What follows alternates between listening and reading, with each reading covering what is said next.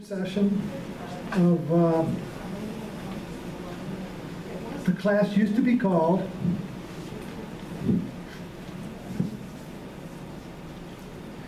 the class used to be called uh, I've been teaching here for I think five years and I've had several names. The last name I've used for the last couple of years has been Awakening Insight Meditation but it really wasn't about just sitting in, it wasn't about meditation, it was about awakening insight into our lives. So uh, I changed it this time to spiritual philosophy, and I don't really know what spiritual philosophy is. I just kind of like invented the name because I it kind of like fits. So, so basically we're going to be discovering what it means. And uh,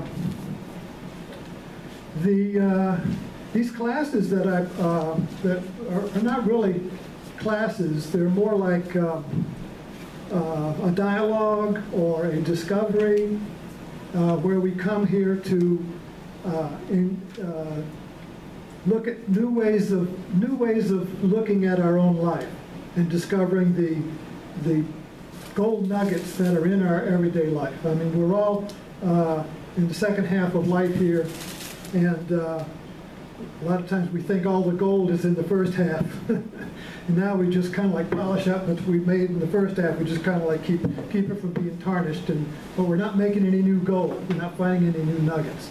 Well, this class is all about finding new gold nuggets in our life uh, rather than just thinking about the ones we had when we were younger. Um,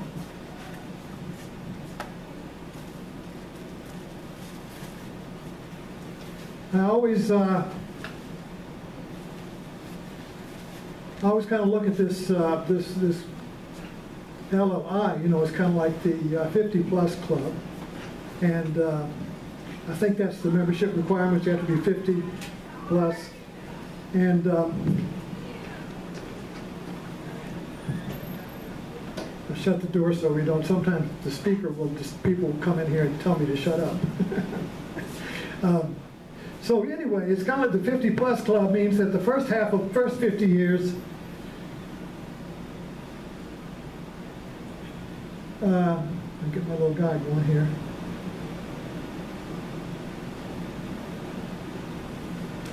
You know, we're climbing the hill and we're building families and businesses and achieving dreams and everything. And then at some point, don't know exactly when, you know, things begin to change when we notice the, the, the, the uh, look in the mirror and it's not the same youthful face we had.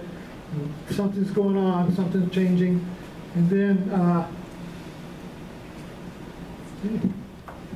uh, and suddenly instead of uh,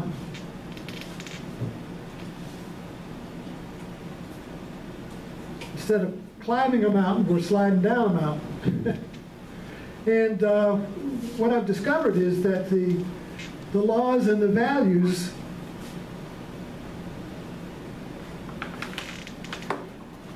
the laws and the values that we use in climbing the mountain change when we start going down the mountain. But we keep trying to apply what we have going up the mountain to what we're going down the mountain. So it, it doesn't quite work. Um, so this class is uh, basically an exploration into the uh, richness and the value in the second half of life uh, that will make the first half of life uh, look like kindergarten. that um, so the the uh, the idea behind let me so let me explain exactly how spiritual philosophy fits into this since I use that as a title. Uh, well, philosophy is a, is, is a system of ideas that explain things. You get a philosophy or an ideology or a religion. It's kind of like a system of ideas that, that explains everything. Um, well, this is not what spiritual philosophy is. Uh, spiritual, well, anyways, philosophy breaks down into ideas. So you get, uh, it's like, I, I like, it's compared to nuggets you pick up nuggets, but the nuggets come from uh, a vein of gold, but you don't know where the vein of gold is, you just pick up the nuggets. So, so you, you don't, you never really see the vein, but you know it's there, but you just pick up the nuggets. So the, what we're gonna be picking up is the ideas to some overall view or understanding that we can't quite see yet. We can't quite see the gold vein. We just pick up a nugget every day.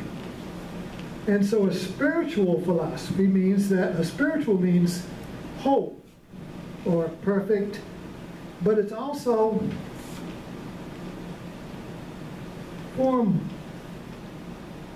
Uh, You know, spiritual is different from physical. Physical means something. But uh, spiritual means it, it exists, but it's not something. So we really don't know what it is. Uh, but we know it's there, but we don't know what it is because every time we pick up something, we'll say, well, here's this, but it's not that, you know.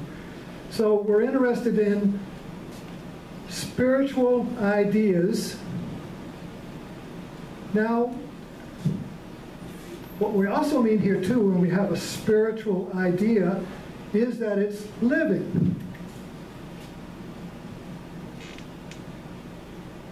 Okay, so it's not dead. If it's dead, it's something I read in a book. You read a Bible or a book or whatever, and you read and you read the idea. Well, somebody else had it. I didn't have it. So a spiritual idea is something I have. I discovered it. And now it's mine. You know, now it's now it changes me. It's not something I read in a book, and I just say, well, that sounds true, and I'll just try to work it. I'll just try to believe it. A spiritual idea is is an awakening idea that I discover that changes me. And so where do I discover these ideas? Well, uh, sticking with the metaphor of gold nuggets, we discover them in our own backyard. We, so we discover the spiritual ideas in our own backyard. Now, by backyard, I don't mean, that's a metaphor too, I don't mean my actual backyard, I mean my everyday mind. In my everyday life. Washing dishes, having a fight with uh, somebody, uh, having going to the doctor and getting bed, whatever my everyday life is doing is where the, the daily gold nuggets can be found if I, He was just looking, he didn't know about. oh, I thought somebody was coming in. Next door. Oh, okay. So anyway, we're, what this class is about basically is discovering the gold nuggets in your backyard. But the way the class works is, as I discover them, discover them in my backyard, since we all have the same mind, we can, they're all, it's, it's revealing the gold nuggets that you have in your backyard if you, uh, if you see the uh, insight in what we're discovering here. So this is, uh, if this is confusing, don't despair, because this class is really an unfolding. See, I don't, I have no lesson plan, or I have no uh, textbook, and this is not coming from something I learned in school or got my degree in it or something. Um, and so th- this is basically uh, um, a way I have of sharing the discoveries uh, in my life that happened during the week between classes. As, as those who've been here before, I usually come in with something that a movie I saw, something that happened, something that I dis- discovered, uh, some event or something, and uh, it becomes a gold nugget for me. And when I share it, uh, everybody gets the possibility of opening that same nugget in their life because we all have really one life, uh, in just different faces. Uh, we all have one mind, one life, just in different bodies and different faces and different places. But there is a sameness that, uh, that is present in all of us uh, that, that makes us human and makes us want to sit in this room together. Ah, I'm glad you're back. Thank you. I'm late, I'm late. That's okay. Time just goes by too fast. Hello, that's okay. Okay, have you, you, you're new to this class? Yes. Okay, good. You're welcome then. This is another one of my returns. Kind of like a library book that keeps coming back, you I don't have my know. name up there. Why What? Okay. Hi, I'm Mr. Lot. Well, I'm just getting started. So one of the things, what I've, what I've learned, what I do basically is when I come in, um, is that I'll put some things that have happened to me during the week that I want to talk about, ideas, and it'll be kind of like dots. And uh, the talk will connect the dots. Okay? Uh, You know, when you have, when you have a, uh, uh, one of these little picture puzzles or books, kids do it all the time, you connect the dots to see what the picture is. You connect the dots, say, oh, it's a frog. You know, but you, you connect the dots to see what the picture is. So this is kind of like how this spiritual philosophy works, or awakening insight meditation. Uh, we connect dots that don't seem to have any connection, and suddenly a picture comes up. Oh, I see. I make the connection. You so the real, we all know this. It's a very common experience because, uh, but we don't really have a map in which to understand how it works. But something will happen here and something will happen there in your life, and suddenly you connect the dot and you say, oh, I see what I was trying to do, or I see what I really wanted. You know, but we, but we were kind of like in, in fragments of it, and we didn't get the whole picture. You know, so this idea of uh, insight uh, uh, in spiritual ideas, spiritual philosophy is all really the same kind of idea of a uh, an emerging picture of my truth that reveals itself to me that I didn't realize before because I, I didn't connect all the dots. So when enough dots are connected, boom, you could say truth or my truth becomes uh, uh, conscious to me, and I'm changed. Particularly if you realize that you were doing something that uh, you, know, you didn't know was hurting yourself, and then you saw that it was, you suddenly stop doing it once you see the whole picture. So that's kind of like what we mean by spiritual is, is the whole picture that really has, that, that is really always discovered. You know, so, so truth in that sense is not something already written down, it's something that each of us has to discover. So that, that way it's living truth and not somebody else's truth who wrote it down and said, you ought to learn that. So, um, when I first, uh, uh, there, there was a uh, book that was uh, uh, really influenced me. Many you, probably some of you have uh, read it, but it was something about uh, diamonds in your backyard. It was a famous book about uh, finding diamonds in your backyard. So, uh, the big event that happened to me this week, uh, that we talked about last week in my class, was the Blackstone House and Garden Tour. I, I live in, um, and I'm, I'm going ahead and, and to uh, talk about this because it kind of like give you a, uh, uh, tell you who I am, kind of like my story, because since, since uh, you don't know who I am, uh, I want to give you a little idea of who I am and what my story is uh, up front. So um, you don't keep asking, who is this guy? um, so the uh, Blackstone House and Garden Tour was a huge event, uh, a huge event.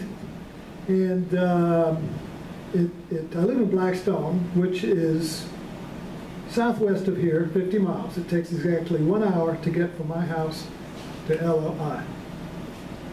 So I think that's 50 miles. Uh, but anyway, an hour away, southwest. If you go directly west, uh, you go to Charlottesville. But if you go southwest, uh, you come to Blackstone.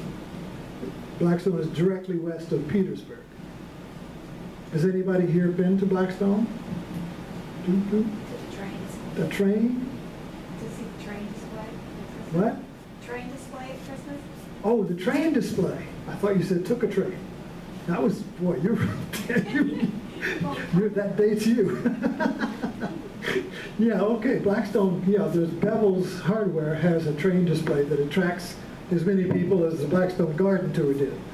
uh, but in drips rather than at once. So the Blackstone Garden Tour this year really focused the whole statewide garden tour into Blackstone, about nine houses.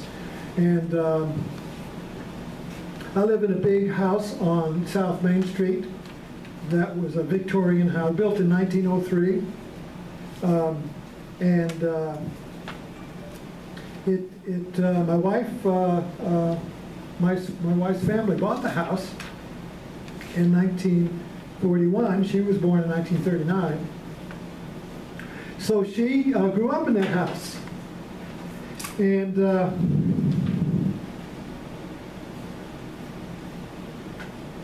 and uh, the picture here, um, yeah. Uh, what, what, what happened was with the garden tour was that uh, uh, the people came to the house to tour the yard and the house and the garden in the back, the yard in the back. And uh, two years ago, we had the, uh, over the past few years, we've been fixing up the house, and we had a kitchen renovation, we had some landscaping done. So I- when they said the garden tour was coming, I said, okay, we'll do it. Uh, Didn't know what I was getting into. But the way the garden tour worked was that the people would come to the door, and uh, they would, and I would let them in in groups of 10, and I would, and uh, there is a, um, the house is like,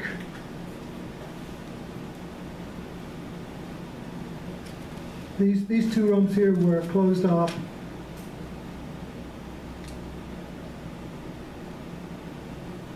So living room, dining room, hall, hall. And these two were closed off. And then entrance, and then exit.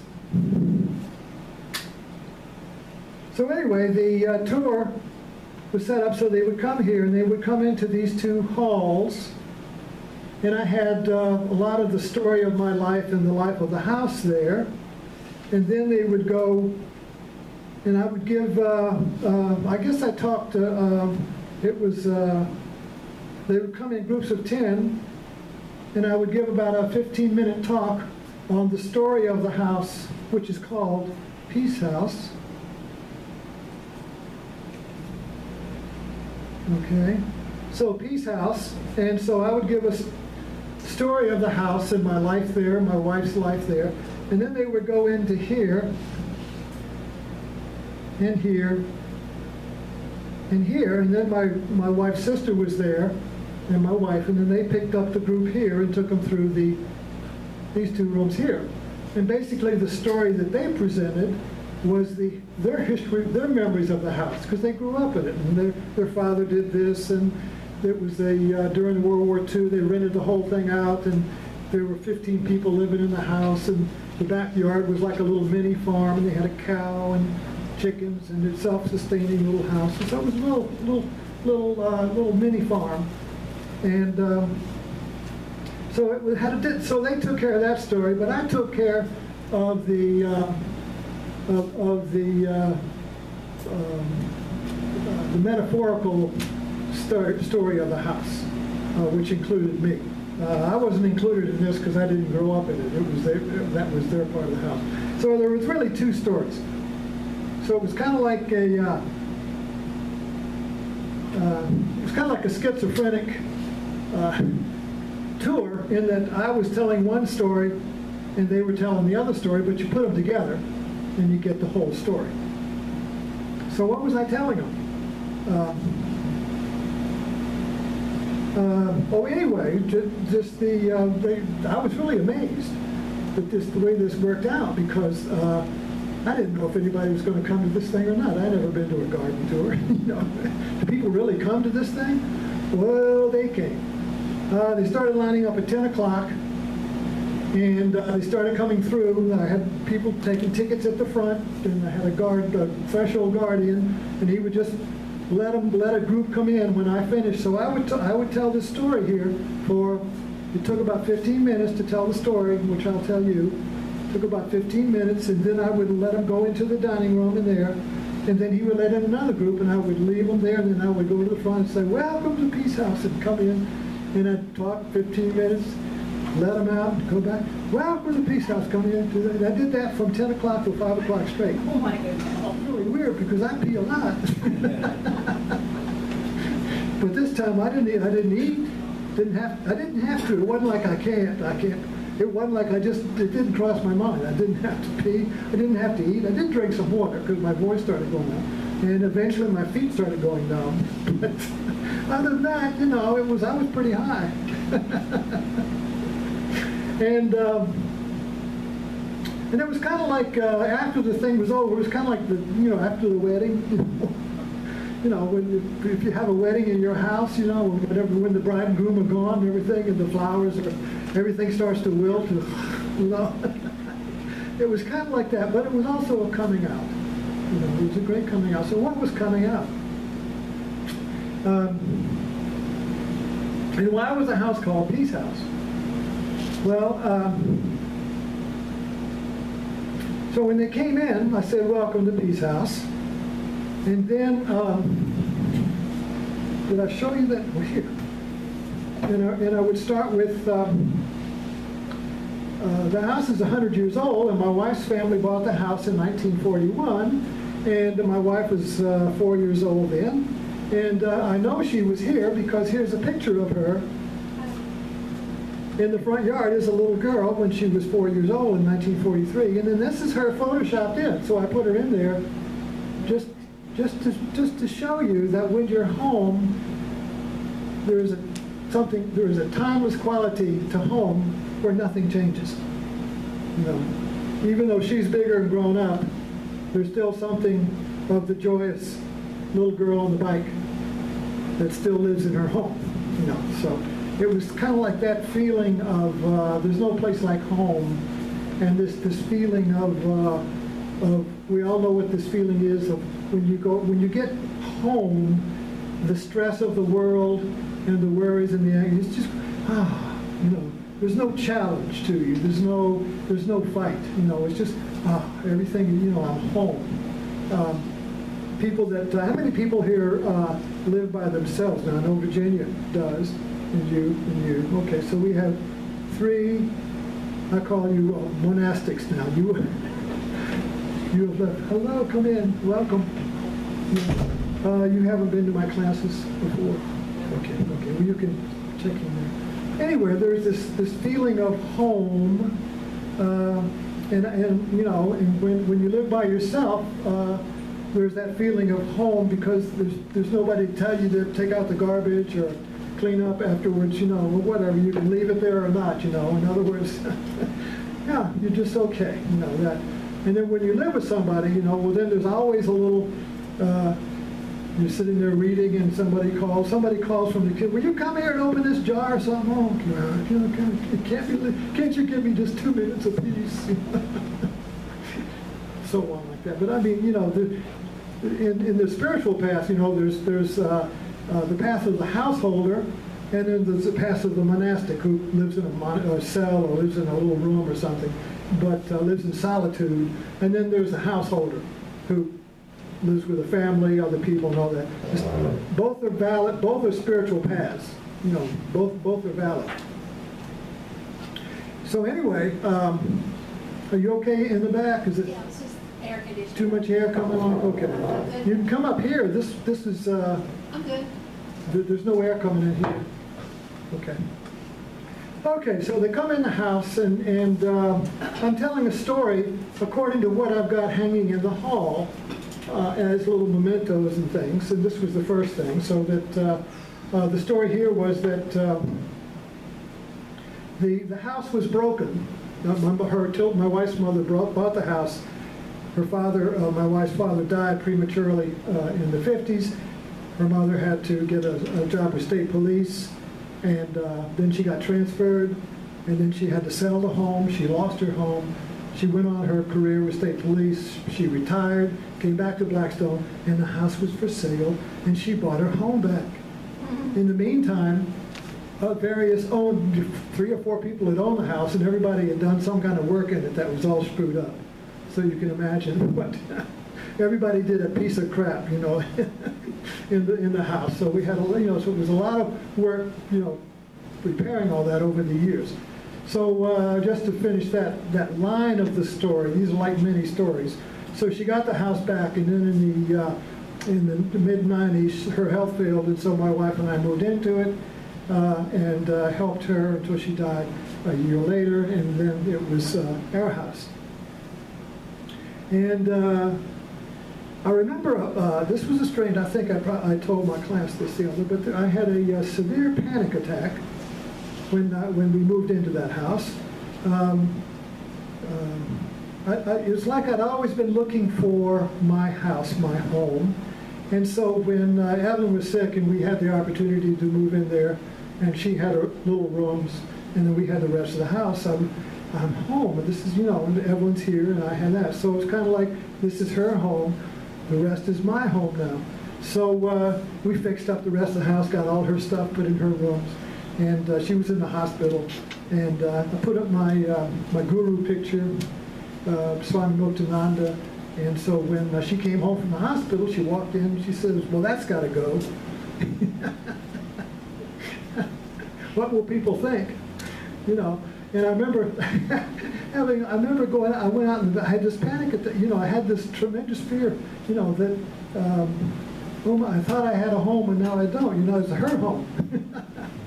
so I'm back in the mother's house. So I went out in the backyard and I realized I could not go back in there. It took me about uh, four hours, five hours before I could even go back in the house. So uh, just, you know, just, so I, what I'm uh, describing here is that um, when we when when uh, when we feel like we have home and then we lose it, uh, it can trigger uh, a severe panic attack. You know, who knows how it will come out. So. Um, so anyway, uh, my wife and I, when, when Evelyn dies, uh, uh, it becomes our home, and uh, in the, this was '96, and um, I had been working in a um, as a feature writer for the Courier Record in the town. And when I left that in 1994, I opened up a photography studio. And of course, now this peace house, this this home, these big old Victorian homes, I always felt like the home was a, was like the great mother. And the mother would say to me, uh, "Whatever you want to do, I have a space for you." You know, so in these big homes, there's always a space for whatever you want to do. It's not like a modern home where you just got you know, little bedrooms and living, you can't do anything else but what they were designed for. These old homes have, you know, you can create these spaces. So the dining room became a photography studio. Had big backdrops, uh, rollers on the wall, motorized rollers come down, do, it's a big room. Do a full-length bride portrait or do a, uh, a portrait with uh, 12 people in it, you know, I'm in a photography studio. And so in um, 2005, um, a, um, a seed, and an embryo in me hatched. So this embryo wanted to be a uh, yoga teacher.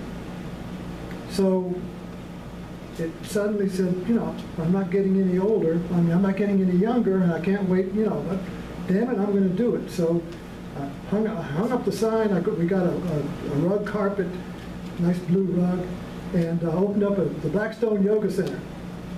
Put a sign up in the front. I taught a few classes, uh, but um, uh, Blackstone is a um, sparsely populated area, and it's also um, uh, very conservative. Uh, my wife and I, my wife and I were our first marriage. We were married in the Baptist church. I mean, down the street. So it's got strong Baptist, Methodist, Episcopalian, Catholic. You know. You don't have any yoga churches there. are a few Pentecostal things on the outskirts, you know, but uh, the Main Street thing, the Main Street churches, you know, you got your uh, Baptist, your Methodist, your Presbyterian, and your uh, Episcopalian. Those are right there in town. And then there's a Catholic church a little bit towards the shop, you know, shopping center. And then you have your, your outside, on the, you know, you have your Church of God, Pentecostal and stuff like that, you know and there was no yoga churches anywhere. So as I, I discovered that uh, there, there is no truth in the uh, in the uh, saying that if you build it, they will come, because I built it, nobody came. and so uh, anyway, I tried uh, flying kites, maybe, maybe I had to have a write the program. You know, so I would create a new, you know, stress management program, uh, all kinds of different programs, and they'd have a kite, you know, with a thing on it. And I would design this thing and put flyers out, and put ads in the newspapers and fly this kite, and there was no wind. Can't come down. So I did this for years, you know, but, but what, what, uh, usually what we, what happens in this when this happens in our life is that, um, if you have a desire, uh, a compulsion to do something, to grow something or make something, and you run up against obstacles, but you keep doing it, that the obstacles make you stronger. So you develop, you know, you have to develop more skills. In, in other words, to, well, maybe if I learn how to do this, I can overcome the obstacle. So the obstacles are kind of like weights in a weight room. You know, you go to you go to a wellness center and you start picking up weights. Uh, the weights make you stronger. So the obstacles I, I ran into in Blackstone, uh, being a, um, a barren wasteland as far as I was, what I wanted to do, made me stronger. You see. I remember when I went to um, Cleveland, going going back in the story a little bit. Um, I started practicing uh, spiritual yoga. Let's put it, spiritual yoga is not the kind of yoga that you get in the uh, shopping center, which is hatha yoga. It's kind of like slow aerobics. You know, you just go, or what you get here. You know, you get, it's really great. I mean, you get exercise and stuff, but it's not the uh, spiritual or guru yoga uh, that comes out of India, uh, where you have a, uh, a master teacher or a guru, and you use a lot of the Hindu uh, mythology and symbols uh, to under, to uh, understand the path. You know, like, uh, and so uh, uh, I knew that I had to. I, I knew in 1968 I had a very powerful awakening. I knew I had to find a path or a teacher. And so when I discovered this teacher, a yoga teacher in Cleveland, I went there, and my wife, and so we went to Cleveland, and um, we lived there during the 70s, and then I went to, we went, my family, we went to India in 1980 for a few, three or four months, and then, when- then we came to Blackstone. So I came to Blackstone with the idea that I was going to be some kind of yoga teacher, and, uh, uh, you know, that, that I would uh, uh, help, you know, just, uh, you know, I felt like I was a missionary going to China. You know, they, you know, when, you know, the, the, the Baptist, you know, Baptist, the missionaries, and they go to some country where they don't have any religion or Christianity, and you go there with the Bible, and you're going to bring Christianity to these heathens, you know. Well, I kind of like, you know, you know, I was going to bring yoga, spiritual yoga to these heathens, to these heathen Baptists in, in Southside Virginia.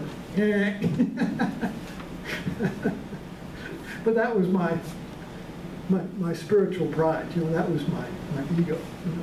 But anyway, so the so the, the fact that Blackstone rejected me was the best thing that could happen to me. Yes. You said uh, it was your spiritual ego.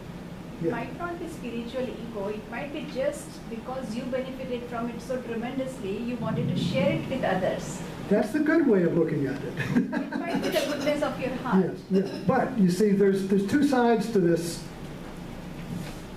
This, this is the yin yang symbol here. I use this a lot. It explains everything and nothing. But anyway, yeah. So uh, here's here's the uh, me, and here's the hidden. Okay? So the, the light side, the yang, is what you just said. Well, yeah, I just wanted, this is a great thing and I want to share it. There's nothing wrong with that. And there isn't. But the dark side of it was that I wanted to be special. you see? So if I want to be special in what I'm, what I do, it could be uh, quilting or gardening or, or cooking or whatever you want to do. Uh, you want, you know, you want, there's, there's a need to be, you know, this is my specialty. You know, this is my specialty, you know. It makes me feel special, you know. So uh, this practice then, you know, this, this, uh, um, so that was the hidden part of me, you see. So that uh, um, th- this is what I call the schizophrenic part. You know, so there is one half that I think I am, but there is a back half that I don't know that I am. You know.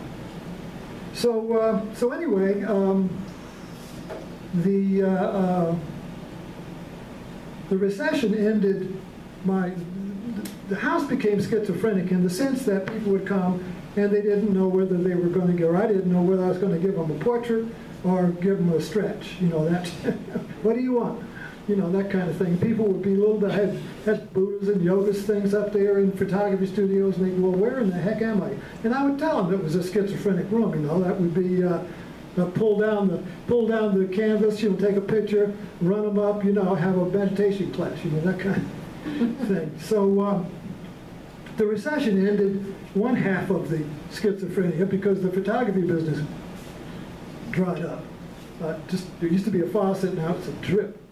And so uh, then the other half ended when my uh, my uncle, this was three years ago, um, so we just had a yoga studio then. I mean, just a rug. There was nobody coming to the yoga studio, and there was nobody coming for photography. So it was just an empty room with a blue rug. and so uh, my uh, my uncle um, had a stroke and was in the health, and he was a photographer in Tampa. So I went down there and, and had to, we had to bring him back to live with us because he had no caretakers in Tampa. What he brought with him is dining room furniture. So that that field that gave us a dining room. So um, the whole yoga thing went, uh, and we started having dinners like civilized people, and um, so th- so both the photography and the yoga studio, it just died a natural death. You know, in other words, know, just it just fell off. You know? um, so that kind of like brings me up to date with that story. So the other story in the house was uh, there's a picture on the wall of uh, my wife in a little uh, black and white bridal portrait of our first of our, when she got married in, in 1960 at the Baptist Church down the street. Nice little proper bridal pose. So I tell the people standing there, after I told them the, uh, uh, the, the history of the house, and I said, well, uh, my wife and I were married down the street, and that um, Baptist church, but and we went to Cleveland to practice yoga, and I failed at marriage. And everybody went, oh. And then I said, well, we got divorced, and then I said, well, then, but then I failed at divorce. I laughed, you know. And then I pointed to another picture of my, uh, we were, and I said, then we got, then we got remarried. And everybody, whoa. so we got remarried at an Indian wedding in the, in uh, the Catskills with Swami Muktananda. It was like 20, 20 couples and international people from Australia and all over the place. Swami Muktananda was a big guru. I mean, he, back in the 70s, he had ashrams, meditation centers all over the world, uh, Europe, Australia. It still is. It's on the internet as Siddha Yoga. Um, but anyway, so this was a big ashram. They took over a Jewish uh, Catskills uh, Jewish hotel, and it was a big thing. And so, uh, so this was a very present wedding for me. Uh, the first wedding I wasn't present, actually very much, and so I was. I told him I was a late bloomer. It took two marriages for me instead of one. Um, so that was another story. Then the other story that uh, I told in the foyer was that um, I don't have any pictures of this, but uh, in the, uh, uh, one of the furniture stores had an attic, and in this attic they had a huge, beautiful shelf. It's a big yin-yang in glass with shelves in front of it, and I put on the shelves the stages of my spiritual wanderings. There's a little shelf with uh, Jesus and the Last Supper, Mary and the cross.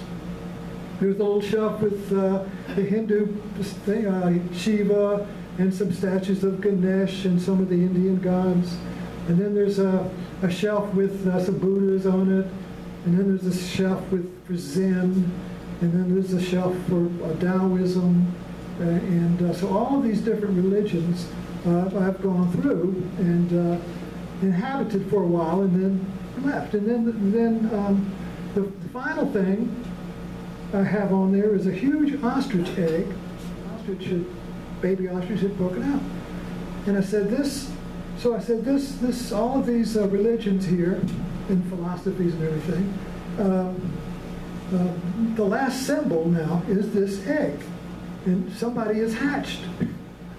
You know, somebody is hatched from this egg, and uh, we don't know where he is. You know, so uh, I said, this is my final symbol. You know, that, all of these religions were was my egg, and I had to hatch out of them. You see.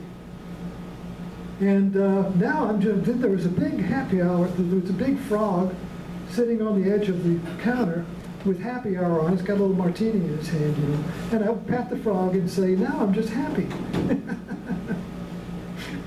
you know, so um, anyway, that was another little so. So each of the, each of the tour, the people coming through got these little mini stories of healing, of coming together you know, there was a marriage coming together.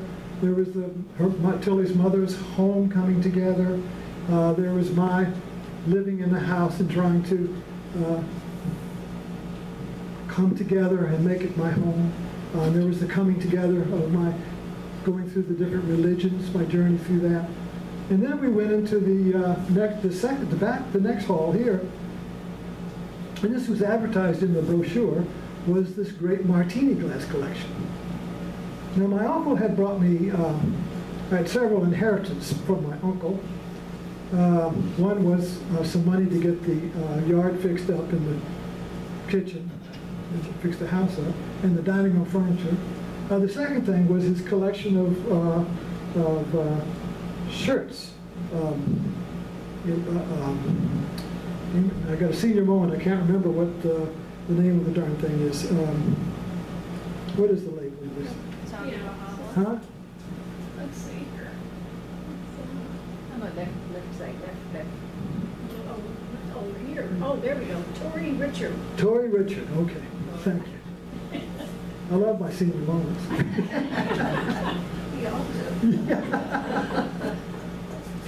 They're the source of humor. Yes. Not like, oh, Alzheimer's is coming, up," you know, no, no, no. Uh, Too much, well, redirect it? Maybe I can redirect it. Yeah, okay, yeah, we're in that time of year now where you gotta have it all, but it's a, you know, it's just, you know, it's, it's a blessing and a curse. Um, Yeah, so, uh, yeah, so he left me uh, his collection of Tori Richards shirts. He used to go to Sarasota when we visit him. Yeah, come here. So every time we go down to visit, this is my mother's brother, younger brother. She was 102 when she died. He was 94. And uh, so we go, he'd go to Sarasota and he'd buy one of these shirts. And we never duplicated them. And they had a whole rack of them. So this is, these are my Tommy shirts. And I really like them because they need ironing and I enjoy ironing. Get a little starch so you can keep the, you know, starch it on, you know. And, uh, you know, so it's a nice, you know, we get the steam iron. Shh, shh, you shh. Very peaceful. you know, and he left me his 500 glass martini collection. So he was um, he was a compulsive martini collector and drinker too. but he always went well. Actually, five o'clock started at lunch, but uh, we'd have a martini at lunch if he went out, and then at five o'clock at home. So anyway, I got his martini glass collection. What Yeah, age did he die? 94. That's great. Uh, and I would serve him. In other words, they, when he came to live with us, um, actually when he, uh, my mother went out when he came in. She was 102, and while I was down in Tampa getting his affairs straight, uh, she went to the hospital for, I don't know, but it wasn't something serious. I don't know what it was, a uh, clot or something. I don't know what it was. And then uh, when I brought him back, uh, he was wheelchair He could, he had a stroke, uh, so he couldn't, his left leg was gone, so he had, he was like dead weight, you know. So I wheeled him up into the hospital and uh, to see his sister, and she was like, "Oh, Tom, you know, oh, we're reunited, you know, again." She, she died the next day. Just just went to sleep. But 102, you know. So uh, anyway, he was incoming and she was outgoing. And so he brought his furniture, and we, so we fixed the house up, and it was a lot like uh, Downton Abbey. Uh, you know, in other words, uh, he was like the master. Now he was the master of the house, Tommy. You know, and he was very scheduled. You're going to have breakfast at nine o'clock. You're going to have a full lunch at uh, twelve o'clock, and you're going to have dinner at six, and martini at five. And he had daycare. You know, two the ladies that would be during the week and one on the weekend. You know, so we didn't have to uh, lift him and wipe his butt and put him. You know, it was a big job on him. So we had lift chairs. You know, because he couldn't get up. He was, you know, like a sack of sand.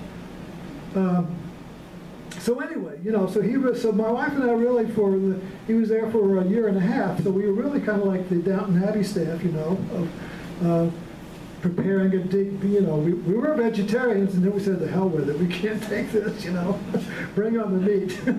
Because he was a, you know, he was meat, he was a meat guy, you know, so, uh, so we wheel him in, you know, and our time, we, and I would put a, you know, so we'd have dinner ready, and the and the, the help would bring him in, you know, and I'd hit, I, I would five o'clock every day, five o'clock, I'd bring him martini, and he would sit in the living room and he'd say, "Oh Jesus, thank you Jesus," you know, and he would get that martini. It was the biggest moment of his whole day. So we'd wheel him in, you know, and so I would put a uh, towel over my arm, you know, like I was the butler, and I would say, you know, we have a great meal tonight. and I would tell him what we were having. And he would be wheeled up to the table in the kitchen, you know, and uh, it was a great thing. And so I really learned, uh, this was a great blessing for us because my wife and I really learned how to uh, give unconditional service.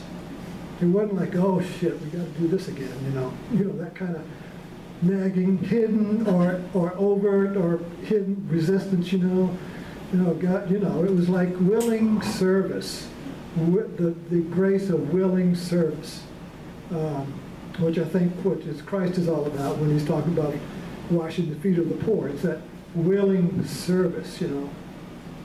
So uh, uh, yeah, so Tommy was. Uh, um, and I called him when I, when the people came in to look at the martini glasses. They were all like, "Oh, nobody's ever seen a nobody's ever seen a collection like this before." Because oh, what crazy person is going to collect martini glasses? And they're beautiful.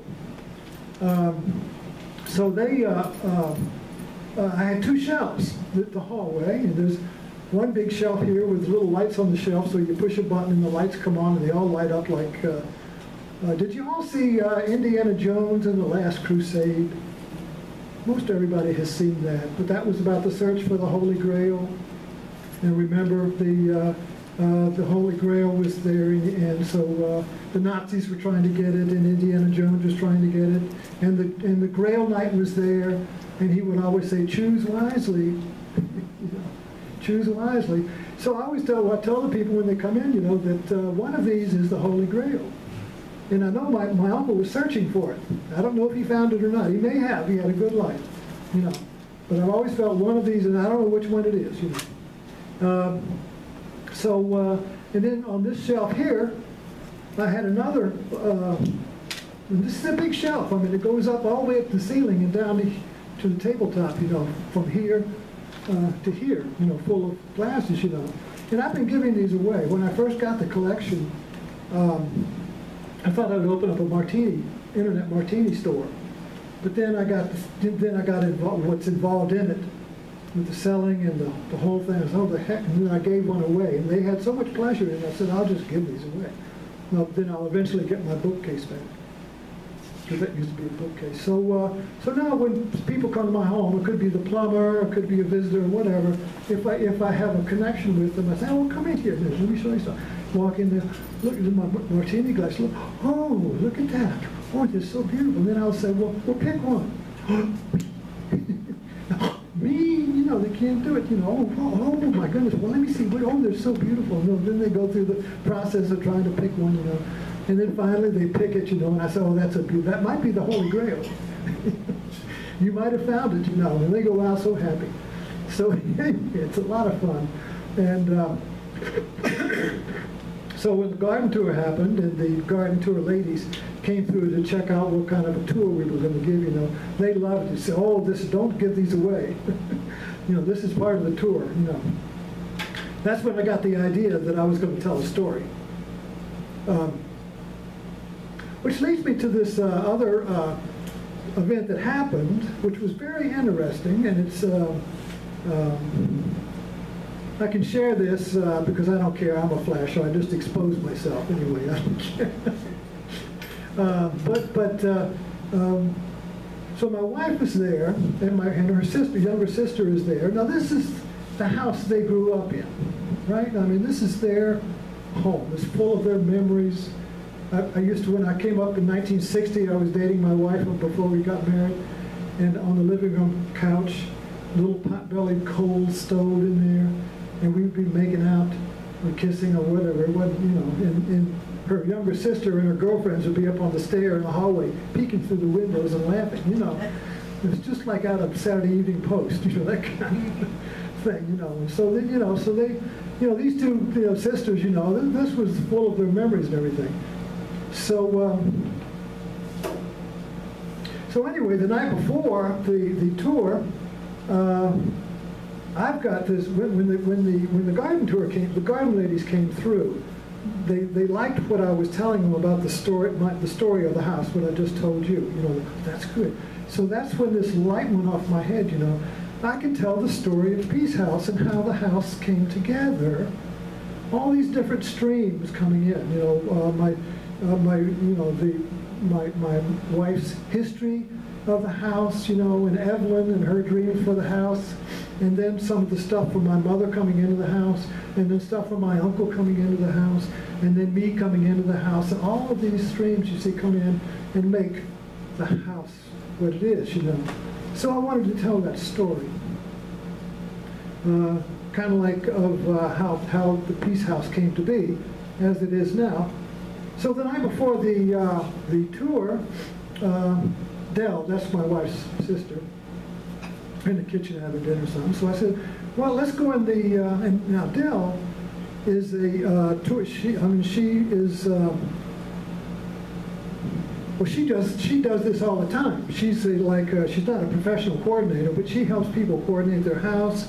She's always helping out on tours and stuff, and she's very active in, in these kind of affairs where you're organizing groups of people and talking to people. So this is her specialty. So I go in, I, I start to tell her about what I wanted to, how I wanted to do the tour. You know, I wanted people to come in here, and I would tell the story through here, and then they would go in here, and you and Tilly could pick up the history of the house from your experience here. And Del said, well, that isn't going to work, that's going to bottle them up here, and you need to bring them in here first, and then you come in here, and then you go back in there, and then you go out. And I felt this, this, wait a minute. that would completely break up the story. You know, you can't piece the story. The story has to be presented in one flow. You can't chop it up, you see. Come to the martini glasses at the end, you know, after you go in the living room and all that, you know. So I, I really felt this uh, panic attack that I recall was the same panic attack I had when Tilly's mother came home and took my, my guru picture off the wall. Wait a minute. this is my house, you know. And Dell was, no, it's my house. so I said, Dell, we just can't talk about this, you know, and I left and went in the kitchen. But she followed. I stepped in an anthill, and the ants followed me, you know. And this was like, well, you got to talk about this now. She got really mad, you know. And uh, so then Tilly was cooking dinner, and she got upset, so they were both yelling at me. So um, I got out, uh, and things calmed down.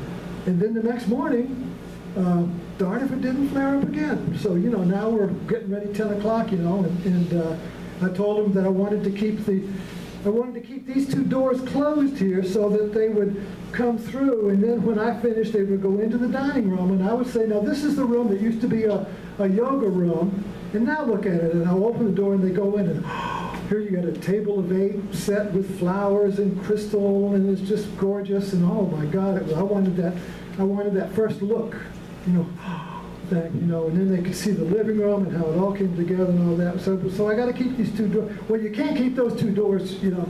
And then my then Dell yells at me, so it's all about Tommy, isn't it? so uh, anyway, so I, um, I just I just let it drop, you know, and then I said, listen, if I can't do it this way, I'm not doing it, you can just do the whole, whole thing. So it was an ultimatum. You either do it my way, or you do it your way, but I'm out of here. So they dropped it. And the whole tour went beautifully. There was, you know, a thousand people went, uh, I think 900 people went through. There wasn't one glitch, there wasn't one traffic jam. Uh, there was no one that, that uh, said, when are you going to stop talking? you know, when do I get out of here? You know, everybody was attentive and had a good time. And um, I felt like, uh, well, you know, I, I didn't, I, I didn't cave. I, I kept the, I kept my feet on my ground, and it worked.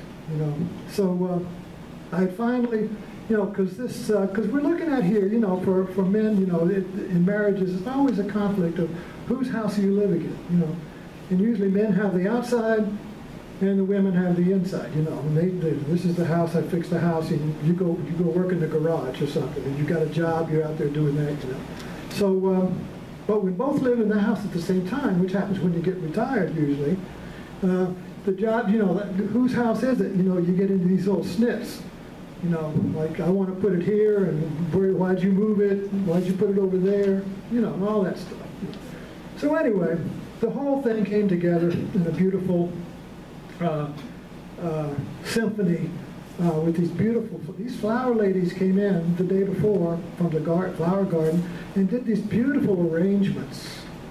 I could not believe it. And each one designed for the room to carry out the color, you know, in the room, you know, and all that, uh, just gorgeously done. And all of them got to stay, mostly, you know, so we've just, uh, the house is a uh, wonderland of wilting flowers now, so it's, um, so that's kind of like the story of the, of the Blackstone House Garden Tour that uh, uh, was a great event um, in more ways than one for me because, um, like I said, I've been living in, in, uh, in Blackstone since 1981. When I left India, uh, so we were there um, for four months. We were going to stay longer, uh, but the kids got, my daughter got uh, uh, sick, so we had to buy medicine, and uh, she wouldn't, she wouldn't eat the uh, Indian food that we had paid for. These ashrams are kind of like a uh, place where both the Indian people come from the local town and whatever, but Westerners come in and pay to stay there.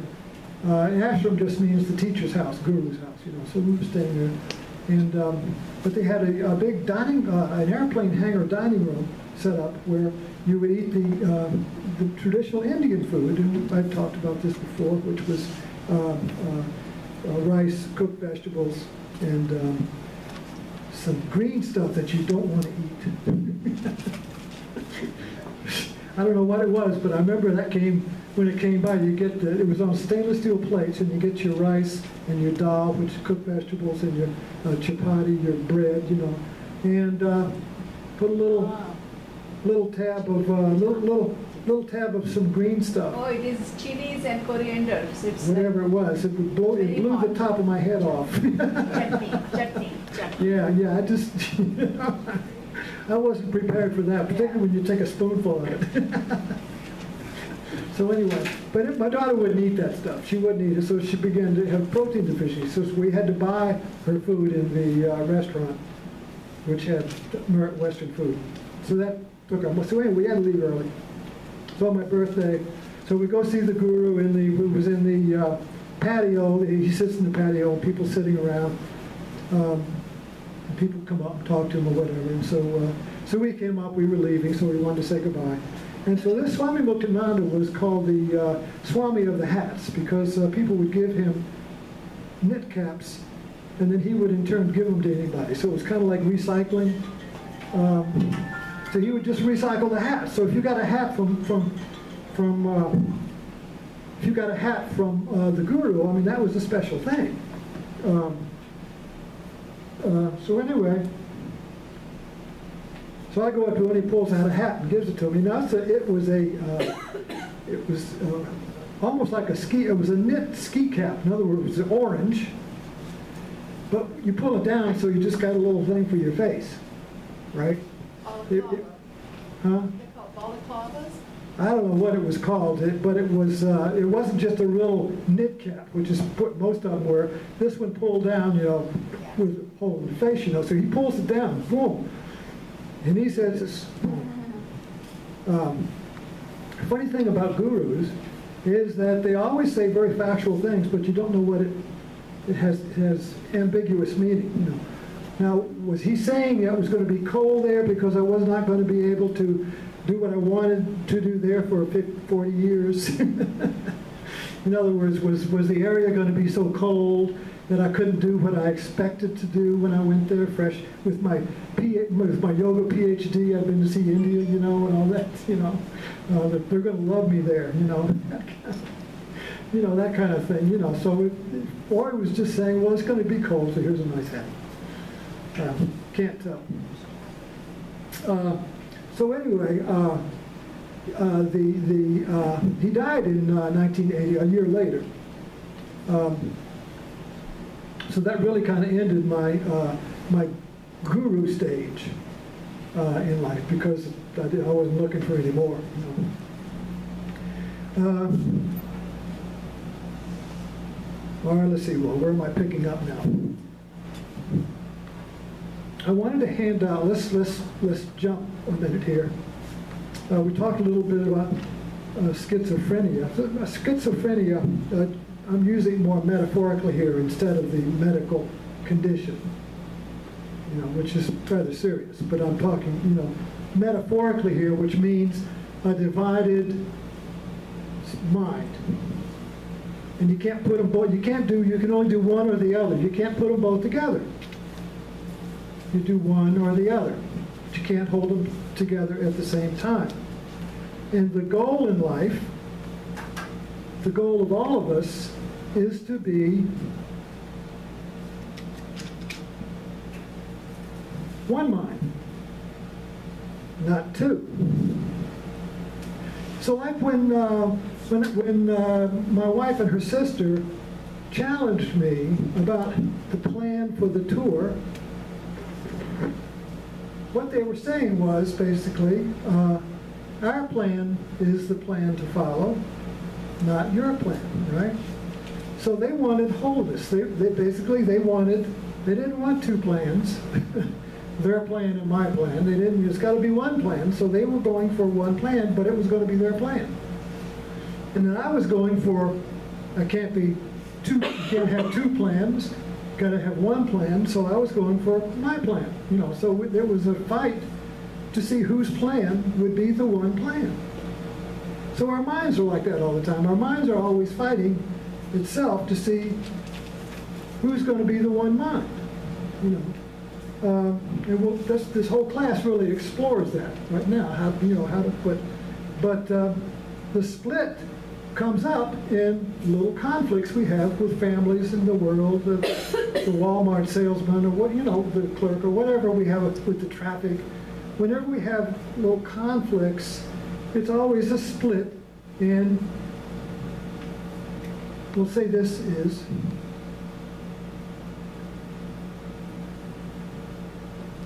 Peace House, okay? So I'm kind of like jumping here. So Peace House is kind of like a metaphor for wholeness. Everything is together.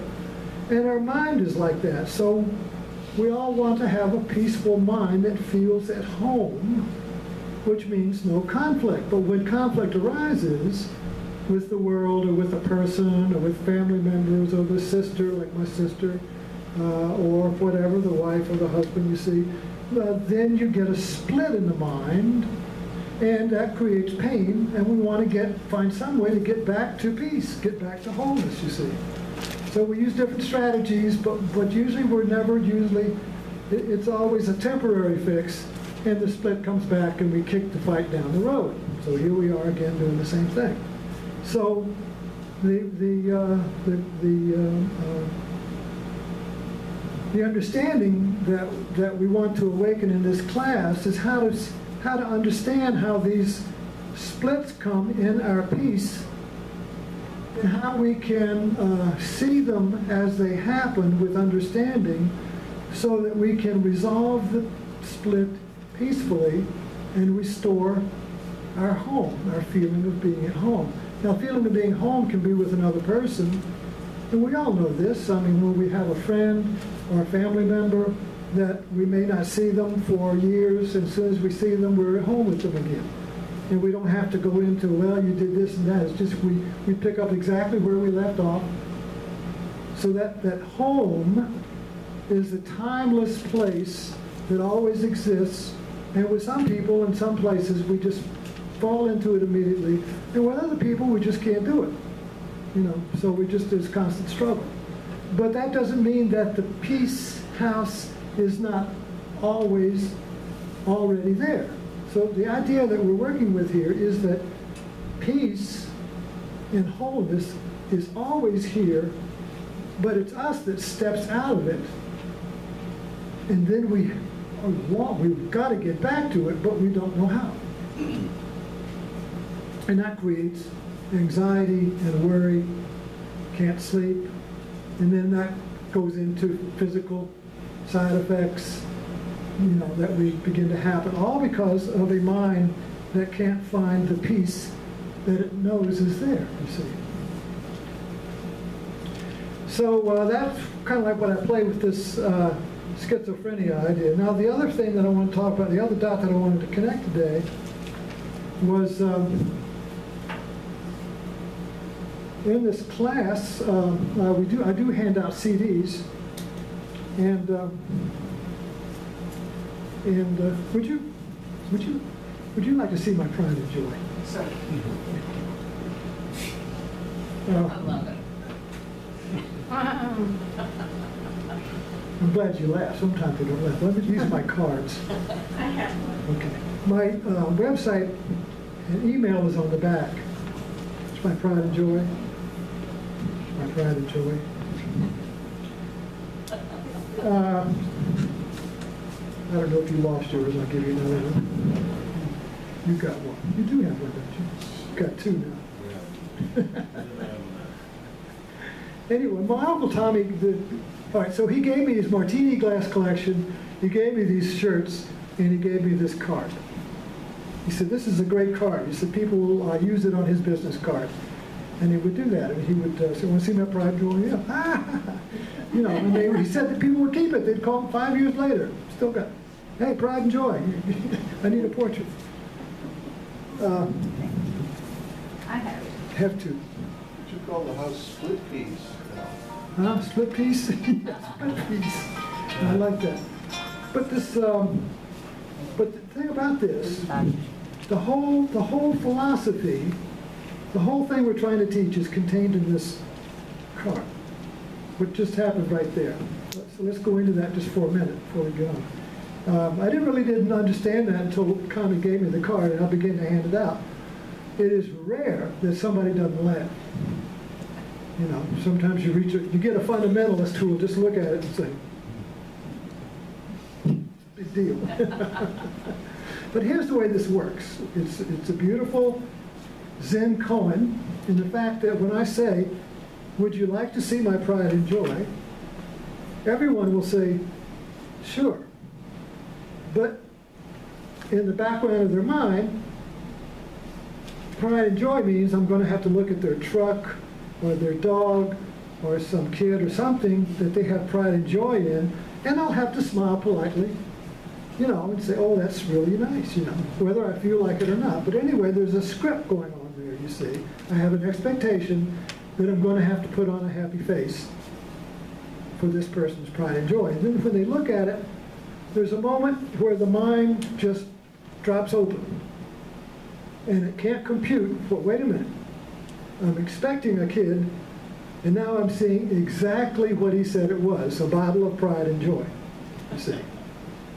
So there, there is an irony here. In other words, it is pride and joy. You want to see my pride and joy, I'm being perfectly honest, you want to see it. And but the other person's mind is expecting something else, and so when they see what it actually is, the actual fact, it was just it was just Joe Friday with Dragnet. Remember that? Just the facts. Well, this is just the fact. Don't want to see a pride and joy, just the fact. It's not a kid. It's not a truck. You see. So it's just the fact. And when the, the expectation of the mind and thinking is up there, and then it just sees that, it just collapses. And when that thing, when that expectation collapses, what rushes up is joy, is laughter. Ha ha ha.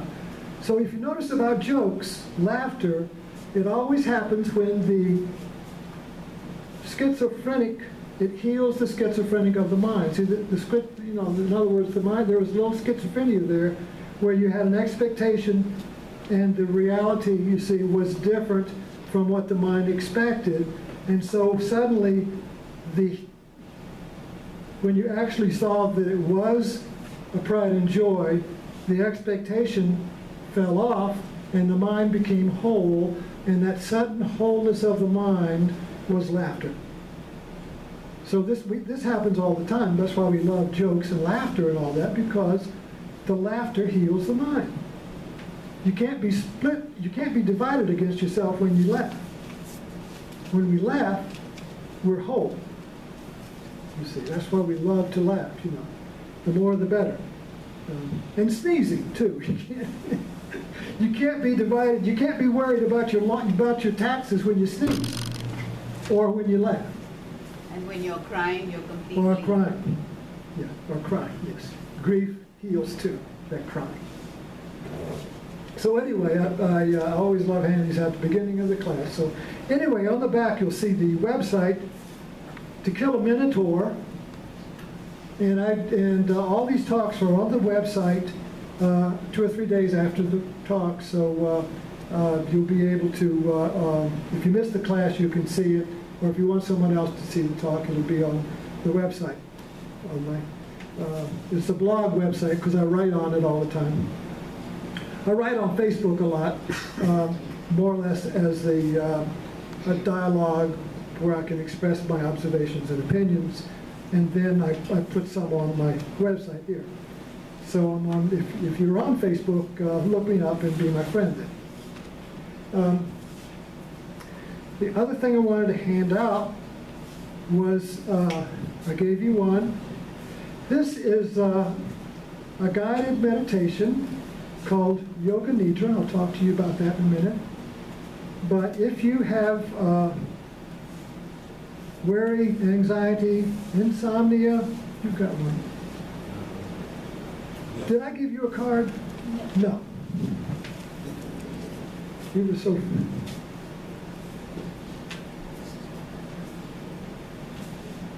This this. This- Now, this is an audio CD, CD, so it runs on a CD player, or it'll run on your computer. And I've been working with, I've been giving this out, I'm working with this uh, in the, in my classes now for five years. And um, many people have gotten a lot of benefits out of it. One one of the, one that's most uh, common is that uh, it helps with insomnia, which is basically a, a worry. You Can't go to sleep because the mind won't stop blah, blah, blah, blah. So this practice, uh, this Yoga Nidra, uh, teaches us how to uh, get out of the wary mind in a guided, relaxing meditation. It's been, uh, the man giving this talk is called Richard Miller. He's on the inter- uh, internet, so it's called uh, iRest, but uh, that's cop, I'm not doing what he's doing. But anyway, he's been doing this particular practice uh, all over the country for many years, teaching people how to do it. It's been very, very effective, especially with uh, uh, uh, uh, PTSD, any kind of people suffering from trauma or uh, something that they can't let go of, you know.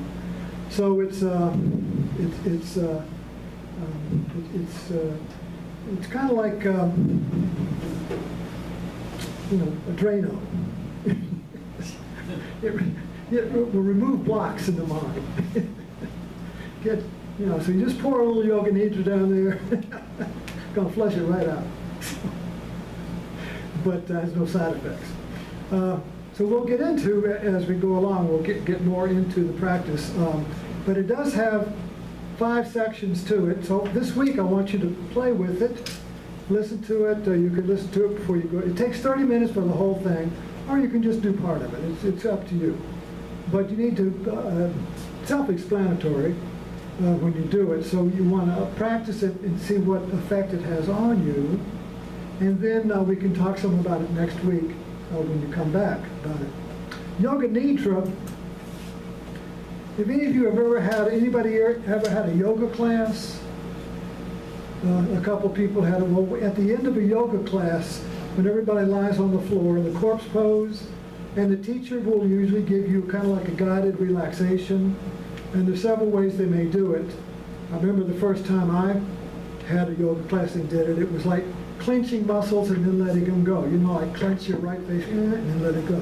Clench it and let it go. You know, so you go through the body and clench different parts of the body and then relax it. So by the time you get through, you're, huh, relaxed, you know. This was always the best part of the class to me. You know. Uh, this particular way, is this is another way to do it by, uh, uh, by sensing the different experiences in the body. Like, like uh, feel and sense the breath and the energy in your hand and your big toe and your right ear and things like that. But that'll explain. But the point I wanted to make was that this is an ancient practice. Yoga Nidra means, uh, yoga means uh, union, and Nidra means uh, waking up. So it's kind of like waking up to your wholeness, waking up to your whole mind and dropping the split, the weary mind. Weary mind is a is, is a uh, um, pain that you're trying to get out of with thought.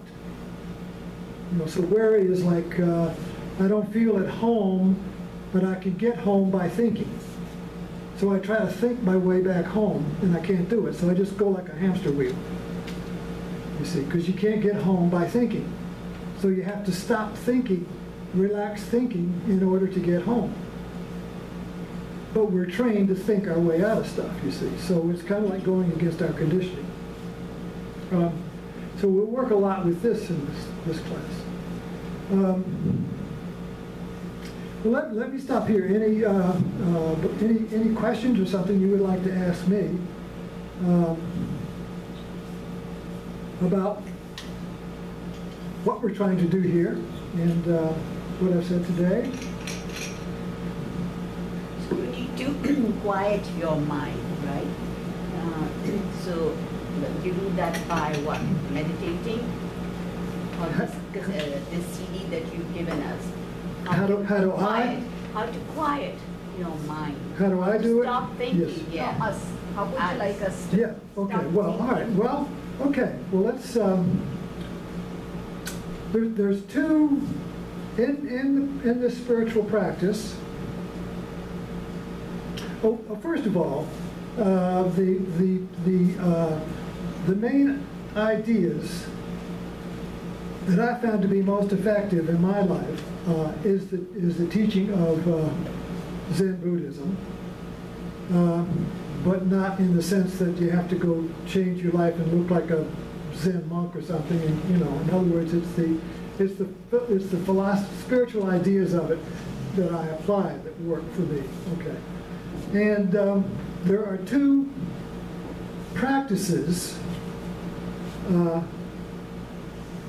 in this path. One is uh, the formal practice where you're going to sit and meditate for 20 minutes a day or listen to Yoga Nidra, but you're going to do it at a particular time in a particular place, and you do the practice there. The other one is portable, that you uh, learn to apply the practice in everyday mind, like when you have an argument with somebody, or like when you um, uh, smack yourself for doing something wrong, or whatever the whatever the conflict, whatever the smack is uh, that disturbs your peace, is the place to practice.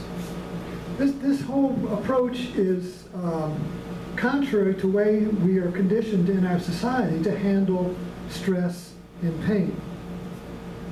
We're conditioned to handle stress and pain by avoiding it. You got something that stresses you out, uh, you either get rid of it, uh, you avoid it, go somewhere else, or you repress it. you know, in other words, you either tough it up, you know, swallow it, or you smack the other the cause of it down, or you leave. You know, or you, or you develop a detached mode, you know, where I'm just detached from it all. It's kind of like a fake spirituality. You know, I'm detached from life. You know, I'm above it all, you see. So all these things are basically how we're conditioned. And this practice of what we're conditioned to do. And the strain that it, and the way it goes against the strain is that when you get a stress in life, like when you get, and it's like when my, my wife and her sister challenged my plan for the tour, you see, um, that was very, that is very difficult to uh, stop once it gets, we all have these experiences, particularly with family members or whatever, husbands and wives. Uh, that's very, that's very difficult to uh, stop. It's kind of like a uh, roller coaster. And you're standing there on the platform and the roller coaster comes up and it says, get in. well, if you get in that roller coaster, you're going to go for the whole ride and you're going to come back, you know, be, you know, just what the hell was that? You know, I'm never going to do that. Every time that person comes, I think I'm not going to get in a fight and damn if it doesn't happen again. You know what I mean? Or whatever the, car- it's called karma you know, comes back, the roller coaster comes back again, even though I vow never to get in again, you get in it. And you don't even know you're getting in it. The next thing, you're on the ride, you see. So uh, that was describing the, the event that I had, you know, before the tour, was the roller coaster ride came around again. And um, I got in it, you know. However, at the same time, while I was in it, I knew I was in the roller coaster ride. No, no, you can't stop being, you can't stop it, your emotions, you can't turn the slip, you know, but you can realize you're, you're on a ride. So now you become curious about what the truth is. What is the truth here? What, what is the, what is the big picture? So the practice puts you in a position where when the roller coaster comes around, and it could be a little, little thing, like, oh damn, I broke the dish again, I'm so stupid. You know, that kind of self-blame. You know, it can be very small, or it can be big, you know. Uh, or whatever the, whatever the little ride is, you see, when it comes up, you, you're gonna get on it, but at the same time, you're aware that you're on it. So that, that be, when you're aware that you're on it, that begins to diffuse it, deflate it, and gives you the opportunity to uh, seek home or peace again. Because you, you know you've lost your peace. And our intention is to live and maintain our peace, you see. So I notice when I lose it, and the noticing that I've lost it is the healing of the peace, you see. So that's kind of like the way this, this works. Uh, and and uh, without this practice and understanding, you get on the roller coaster ride and you blame the other person for the roller coaster ride, and now you got to get back at them. And the next time you meet them, you're still hurting from the previous ride. You know, so that flames it up again. You see, so you got this grievance going on against somebody or the world or yourself or whatever, and you never can find your peace again. Now, so now you got to worry about right? So what we're looking at here is finding a way to uh, uh, not get on the roller coaster ride because it's going to happen if it comes by, but you can see yourself getting on it, and there is something that awakens up in you that is not on the ride. And then it may become funny.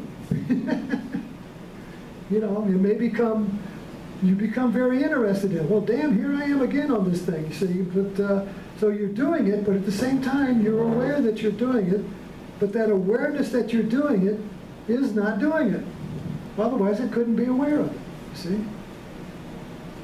So, so this awareness of myself being caught in the roller coaster of my own karma, you see, uh, brings me quickly back home and it restores peace.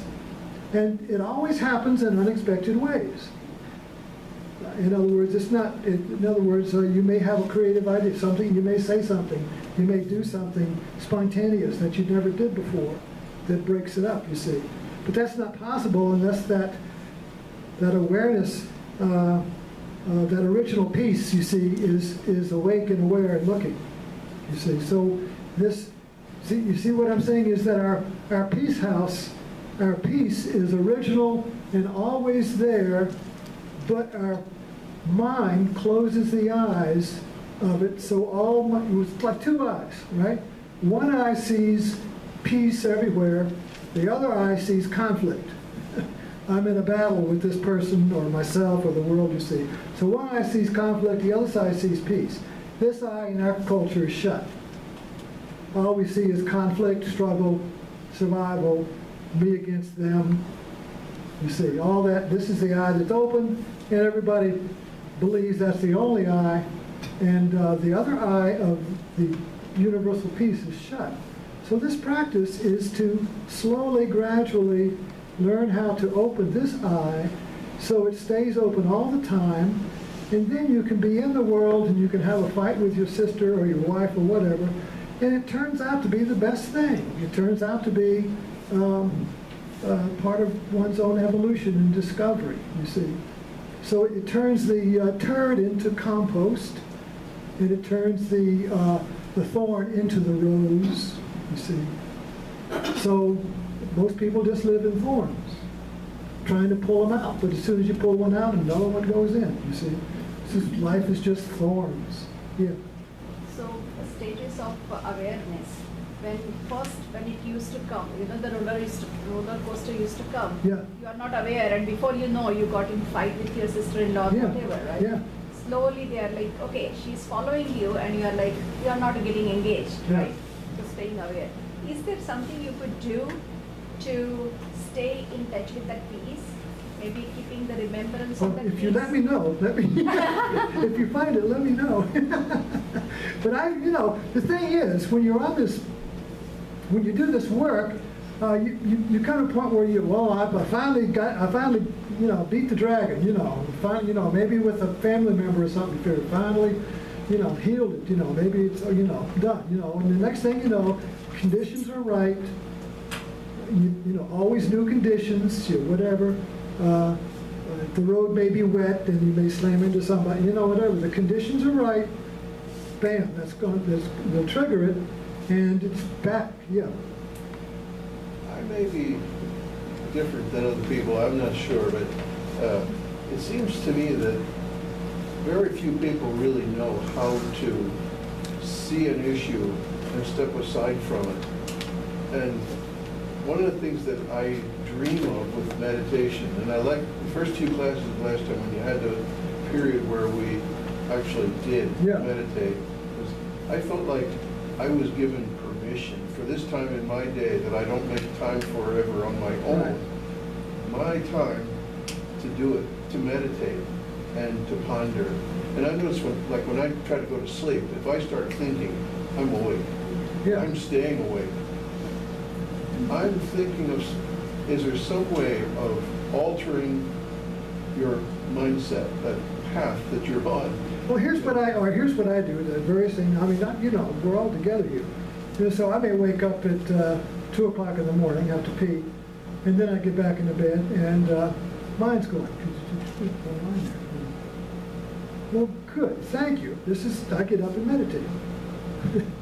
Instead of lying there fighting the insomnia, which continues the insomnia. You see, I don't want the insomnia, but I can't, you know what I mean? I want to go to sleep, I should go to sleep, but I can't. So now I'm getting irritated. I'm getting irritated with being worried about not being able to sleep, and this becomes a vortex, you know, I'm worried about being worried about being worried about being worried, well, well, well, and now I'm having a panic attack, you know, and I'm lying my room. And so I stop that by, first of all, not resisting the insomnia or the, the mind working. So now my mind's thinking, uh, I'm not, so I get up and meditate. Now, as soon as I get up to meditate, I have a little chair there, my, my room, uh, my, my robe cushioned and everything, and have a little timer, push the button 30 minutes, and it'll keep ringing. Every 30 minutes it'll go ding, so I may sit for an hour, but ding 30 minutes and ding, and, and I sit there and I just relax my breath. And I just, I just let go of, uh, I don't stop thinking, but I stop trying to not think. I stop trying to do, I stop doing everything. And I may, I may watch the breath a little bit. You know, And I, and if thoughts come, thoughts come on by, but I don't go with them, they just go by. If there's a car going by, or if a dog barks, the dog barks, car goes by. So I just, I just sit, you know, so I, I just take my uh, refuge in the sitting, and if the mind's thinking, it's thinking, if it's not, it's not, you know. But in other words, I stop all effort. If I notice myself making effort, I say, oh, there's effort, stop. As soon as I notice the effort, stop. As soon as I notice that I'm going with thought, worrying, oh, I'm going with the thought, stop. Thoughts like geese, they'll fly over, maybe they're going to Miami. If you go with them, you'll end up in Miami thinking about what you're going to do in Miami. And then suddenly you remember, oh, meditation, so you, you're back. Then the geese fly, and then, oh, and then you remember back. So the noticing that you're off with thought brings you back. So the meditation is not about not going with thought, but about noticing when you do go with thought. The noticing is not thinking. When you notice that you're thinking, that's not thinking, that's awareness. When I notice that I'm in a fight with my sister-in-law, that's not, that is awareness of the fight, which includes me. It's not like she's doing this to me. Now, now I'm in the fight, you see. And now I'm trying to, you know, if I notice I'm in the fight with her, I'm noticing myself and her in the fight from here. It's like being at a soccer game. If you're watching the soccer game and don't care who wins, you're noticing both teams equally. You don't care who wins, you just enjoy the game. But you're watching it from the side. If you identify with the players, then you want your side to win. So I want to win against my sister, well, you see. That's, I'm identifying with my team. But if suddenly something, the eye opens and I'm sitting in the stand, and I notice that I'm in a fight with my sister, that noticing is not in the fight. That noticing is my true self. Yeah. I, I think partially what I hear you saying is that maybe it would be good to start class with ten minutes of meditation or something. Yes. Yeah. Yeah, okay. Yeah, I, I, yeah, we can do that. Yeah, I, I remember you saying. Or start or maybe end with it. Or end. uh, Because that way you are like peaceful and go home. Yeah. I would Okay, agree so with we that. can, we can, uh, uh, uh, we can, we can stop at, uh, uh, One fifty. Well, it starts at eleven thirty. So we could go to twelve thirty and then stop and have meditation and then time for some question and answers after that. Does that sound good? So that last half hour would be, uh, yeah, yeah. All this is brand new to me. Excuse That's me. all right. And I'm excited about it, but I have a question. Yes, You, on, on the board, the, the yin and the yang, yes. and you said you want, found this and you wanted to teach it, but because you wanted to feel special. What's wrong with wanting to special about something? Nothing's wrong with, nothing's wrong with it.